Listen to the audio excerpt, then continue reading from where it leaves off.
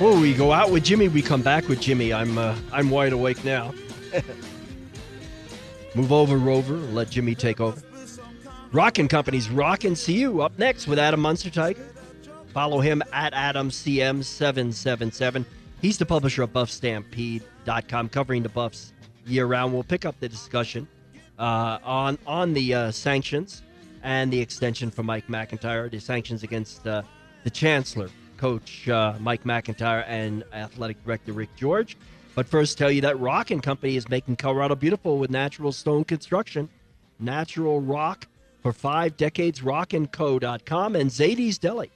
Hitting it out of the park, those great sandwiches stuffed with homemade corned beef, the other deli treats like pastrami, free parking front and back in Cherry Creek, 121 Adams Street, and they deliver. And uh, welcome to the show, Adam. Good morning, Michael. Good morning. Good morning. So uh, we've got a whole report here that's been issued. I've read the Hale report. I've got through the first 70 or so pages of the O'Connor investigation. We've got uh, discipline handed down. Phil DiStefano suspended for 10 days. The chancellor. It was his technical decision that was in error, and he admits it, in deciding that there was no jurisdiction for the university to address the claims of uh, violence and domestic abuse by the complainant against uh, then coach of the uh, Colorado uh, defensive backfield, the safeties, Joe Tumpkin, that led to basically all of this and the punishment of 10 days suspended without pay for DiStefano, $100,000 fine, essentially a contribution to uh, domestic violence organizations, nonprofits, by each Rick George, the athletic director, and by Mike McIntyre, the coach. And Mike McIntyre has a three year extension uh, that we've long been waiting to hear about, which he certainly earned as a football coach. Who's guilty of what here? Who's guilty of what? I, I think you start with Phil DiStefano, and yeah, I think he deserved the most harsh punishment out of the three. And frankly, that suspension could have maybe even been a little bit longer when you consider the fact that DiStefano himself admits that he created the Office of Inequity and Compliance. So you'd think you'd have a, little better relationship with the, the department that you created to kind of know the reporting policies now there was a lack of training with McIntyre and, and Rick George there. Maybe we'll talk about that later in this segment. But in terms of McIntyre and Rick George, it's tough. As Bruce Benson said, you know, there's going to be some people that look at this punishment and say it's not harsh enough. But when you look at the fact that they did report this up and did have that lack of training, and you know, this investigation went on for a long time and was a very stressful process for those both those guys you're, you're probably fine with, with, that. But yeah, I think DiStefano deserved uh, the, the, the harshest punishment out of the three. DiStefano made the key decision that set this whole thing off. McIntyre reported to George. George went upstairs to DiStefano. They do each did what they usually do in a difficult situation where they may not be familiar and it's not a football decision. It goes way beyond that. And for those who don't know, DiStefano decided the university did not have jurisdiction to enter into this situation because it happened off campus with a non-campus employee, and it was and the uh, abuse happened at non-CU events. So long as they knew, there was a series of miscommunications about the amount of abuse and, and what went on and what who knew when. But that single decision of not asking for help and making that decision himself when DiStefano is not the person who decides that. It is the OIEC that decides whether there's jurisdiction or not he overstepped his bounds and made a mistake. In terms of the training, and maybe we should talk about that next, it's clear in the training that they did receive in 2013, which was you know a number of years ago, not updated. Since then, the policies have updated and evolved, but the training did not continue. It does say that you must report uh, incidents of, of domestic violence, sexual violence, uh, any of the anything sexual harassment, stalking, anything on dating. But it also says, which is confusing, on the Boulder campus, and these events did not take place on the Boulder campus.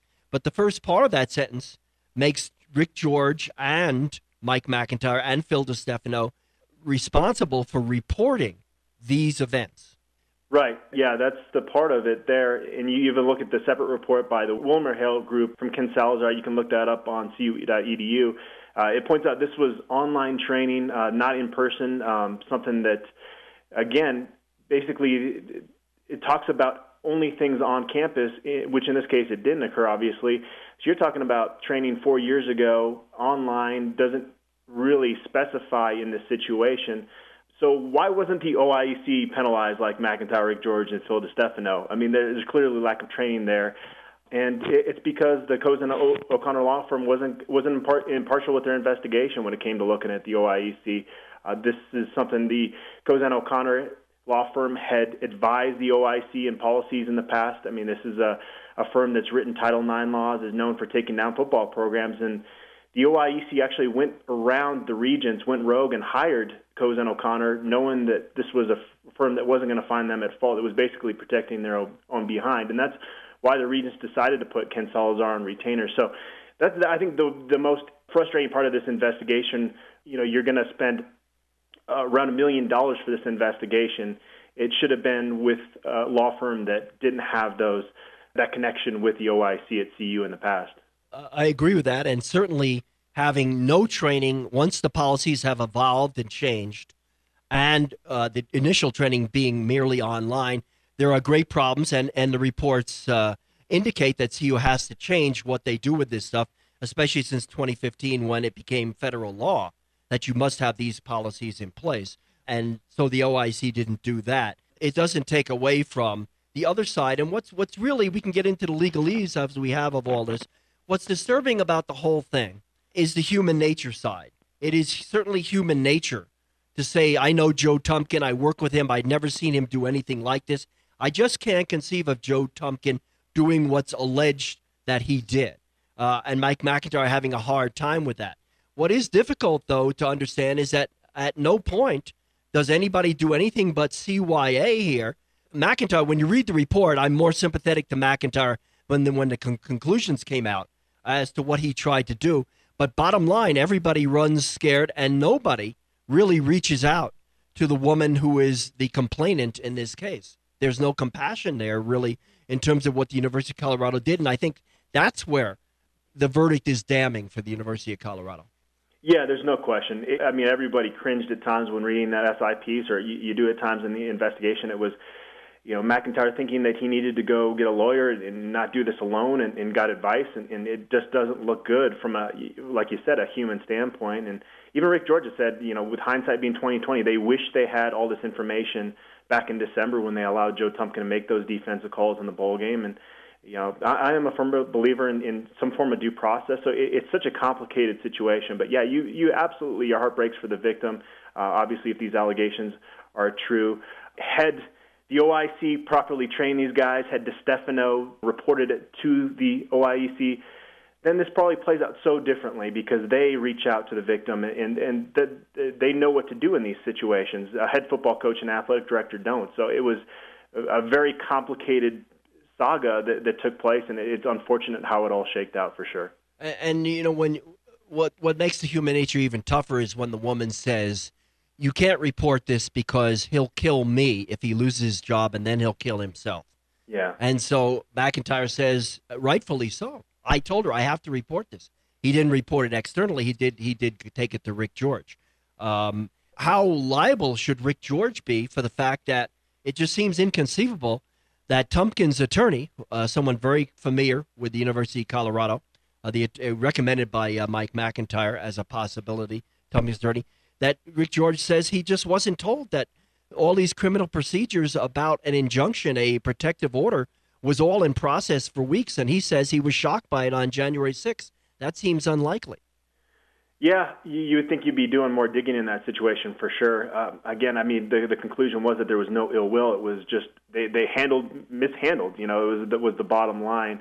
The optics, yeah, don't look good with uh, that attorney reaching out to the victim. Apparently, that's what happens in these situations. But again, it just does not look good. It it, all goes back to if this had just been reported the OIC and these guys knew the policies, then this could have all. Pro- I mean, obviously the beatings you can't can't avoid that, and you can't turn back the clock with uh, all that horrific stuff that happened, but at least the process of this would have been taken care of. Yeah. It's, so it's really unfortunate. And the processes were in place, but for DiStefano's uh, decision that he that he that there was no jurisdiction here.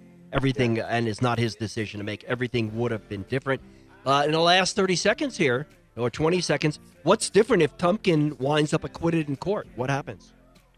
Oh gosh, that's such a big if. Uh, obviously, that would make this whole situation look drastically different. Uh, uh, they they had to have something there to to put these charges on him. So we'll we'll see how this plays out. I don't want to uh, speculate on that. All right, he is Adam Munsterteiger. That is BuffStampede.com's editor.